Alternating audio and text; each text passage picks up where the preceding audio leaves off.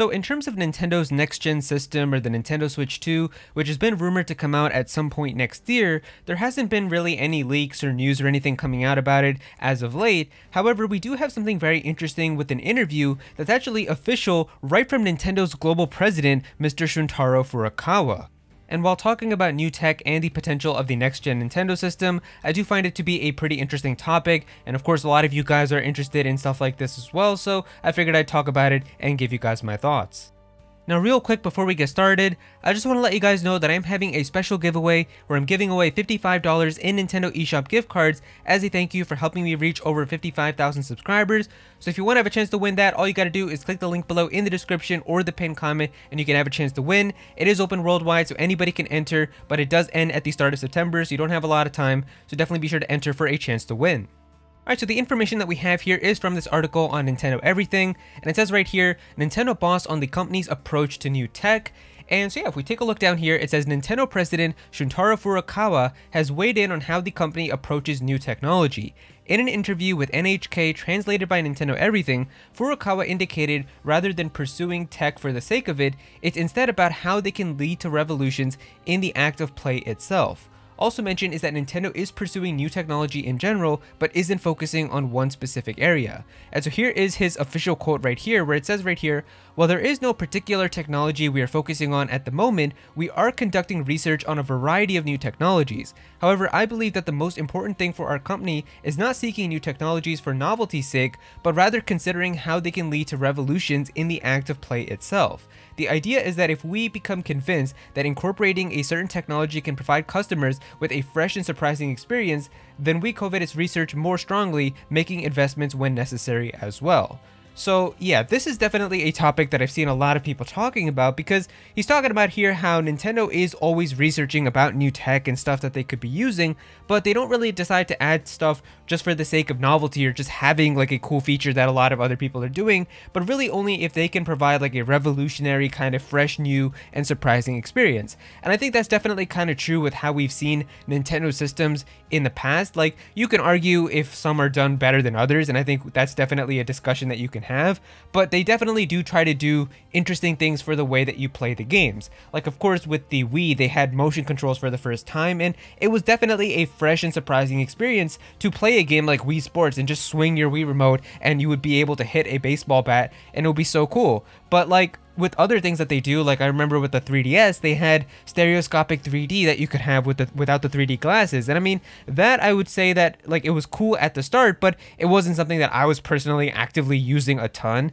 And honestly, by the time that like a lot of the later 3DS games came out, they weren't even really made with the whole 3D like stereoscopic uh, 3D like stuff even included. It was just like a standard game that you would play on your 3DS. So it is interesting to think about this in terms of like what could be possible about the next Nintendo system, as everybody is talking about how the next generation Nintendo system is most likely just around the corner, and it is probably going to be coming out at some point next year. So what are some new technologies and things that Nintendo could be using? And that's definitely an interesting topic because I know some people are talking about the whole VR stuff, and I mean, we actually saw VR with the Nintendo Switch, which was so surprising too. Obviously, it wasn't like some crazy VR because it was like with Labo and all of that, and it was just some kind of goofy cardboard stuff, but they still decided to do that because it offered an interesting type of way to play games, and it was definitely something pretty interesting. So I do wonder what exactly they could be looking into with new technologies for the next Nintendo system.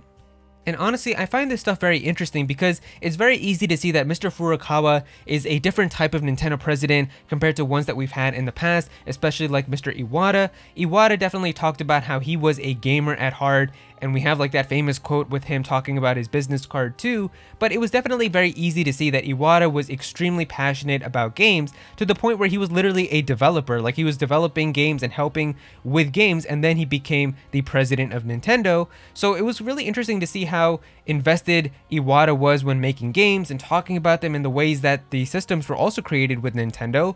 And it's very easy to see that Mr. Furukawa seems to be much more on like the business side of things, where he seems to be very kind of calculated in how Nintendo handles their business practices and their strategies and stuff that they're doing.